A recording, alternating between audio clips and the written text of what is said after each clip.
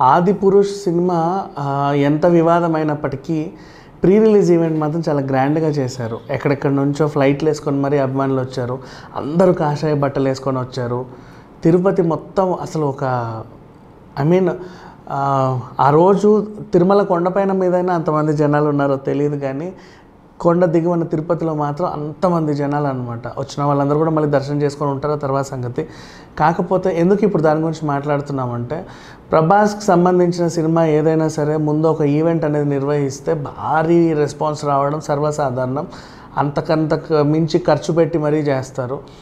ఇప్పుడు అసలు విషయానికి వస్తే కల్కి సినిమాకి సంబంధించి బుజ్జి. సి ఎప్పుడో కృష్ణారెడ్డి గారు ఈవివి సత్యనారాయణ గారి టైంలో మనం రోబోన్ చూసాము ఆ తర్వాత రజనీకాంత్ గారి చిట్టి రోబోన్ చూసాము మధ్యలో ఆదిత్య త్రీ సిక్స్ నైన్లో ఒక ఇన్నోవేషన్ చూసాము టైం టైం మిషన్ అని చెప్పేసి. ఇలా బోల్డ్ అన్నీ ఉండే టైంలో మనకి ఏంటంటే సినిమాలో రోబో పాత్రలు చాలా ప్రత్యేకం. మోస్ట్లీ ఇలాంటి సైంటిఫిక్ సినిమాల్లో. అండ్ ఆ పాత్ర హిట్ అవ్వడం కూడా చాలా రేర్ అంశం అని చెప్పుకోవచ్చు. కానీ ఇప్పుడు మళ్ళీ బుజ్జి పేరుతో వీళ్ళు ఒక రోబోని తయారు చేసి అదొక జస్ట్ బ్రెయిన్ అంతే.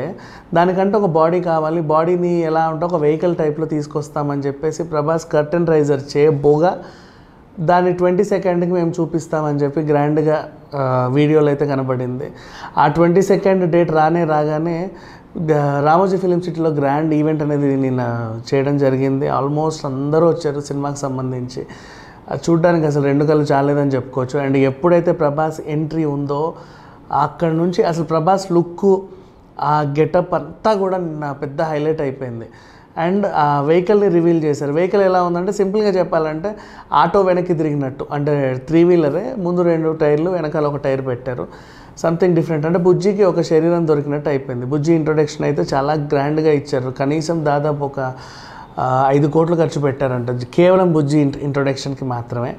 ప్రభాస్ గారు చేశారు సుమ గారు యాంకరింగ్ చేయగా ఆల్మోస్ట్ యూనిట్కి సంబంధించిన వాళ్ళందరూ వచ్చారు. రామోజీ ఫిలిం సిటీలో అట్టహాసంగా జరిగిన వేడుక ఇది.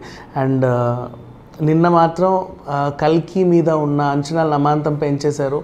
జనవరి ట్వంటీ జూన్ ట్వంటీ సెవెంత్న సినిమా రిలీజ్ అవుతుంది కాబట్టి హార్డ్లీ ఇంకొక నెల రోజులు ఉంది సో ఈ ఈ సందర్భంగా చూసుకుంటే మనకి నెక్స్ట్ నెక్స్ట్ నెక్స్ట్ సాంగ్స్ కానీ గ్లిమ్స్ కానీ ఇంకా బోల్డ్ వచ్చే అవకాశం ఉంది. అవన్నీ కూడా లైన్లో ఉన్నాయి. అండ్ కల్కి సినిమా గురించి ఇంకా ఇంకా చెప్పుకోవాలి అనుకుంటే ప్రభాస్ గారి లుక్ మాత్రం అల్టిమేట్ అని చెప్పుకోవచ్చు. అండ్ ఇంకా ఇదే వేడుకలో ఆయన ఒక చిన్న స్టేట్మెంట్ పాస్ చేశాడు పెళ్ళి గురించి. ఇప్పట్లో పెళ్ళి చేసుకునే అవకాశం లేదు నాకు కొంచెం టైం కావాలని చెప్పాడు. మరో బాలీవుడ్ సల్మాన్ ఖాన్ లాగా టాలీవుడ్లో ప్రభాస్ మిగిలిపోతున్నాడు. అది అని మాత్రం అంటే సి కమిట్మెంట్స్ అలాంటివి. బోల్డ్ అన్ని సినిమాలు ఉన్నాయి కాబట్టి ఇప్పుడు నెక్స్ట్ స్పిరిట్ ఉంది అలాగే రాజాసాబ్ ఉంది. అవన్నీ కూడా తుది మెరుగులు దిద్దుకుంటున్నాయి. ఆల్మోస్ట్ షూటింగ్ అడపా తడపా అవుతా అవుతా అవుతా. అండ్ ఇప్పుడు ఇది మళ్ళీ కలికి ఉంది. అంతకు మించి సలార్ పార్ట్ టూ ఉంది ప్రశాంత్ నీల్ డైరెక్షన్లో. ఏ గెటప్కి ఆ గెటప్ దేనికదే ప్రత్యేకం. అండ్ అన్నిట్లోనూ భారీ యాక్షన్స్ సన్నివేశాలు ఉండబోతున్నాయి. సో ఇక ఏమైనా జ జూన్ ట్వంటీ సెవెంత్కి మనమందరం కలిసి కల్కి కోసం అయితే వెయిట్ చేద్దాం. మరి ఇప్పటికే థియేటర్స్ ఓనర్స్ అందరూ కూడా మేము బెనిఫిట్ షోలకు అనుమతి ఇవ్వము మాకు న్యాయం జరగట్లేదు అన్నారు. మరి కల్కికి ఎలా న్యాయం చేస్తారో వేచి చూద్దాం. Thank you so much.